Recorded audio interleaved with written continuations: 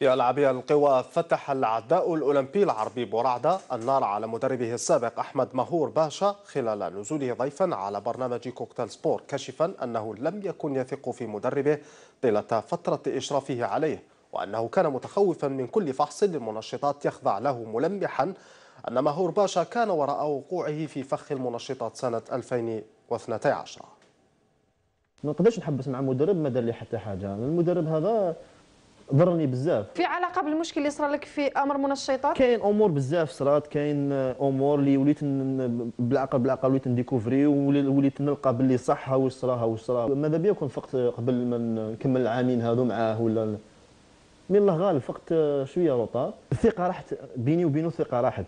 وكما ما نقدرش نزيد ن risquer في تخوفات كثيرة.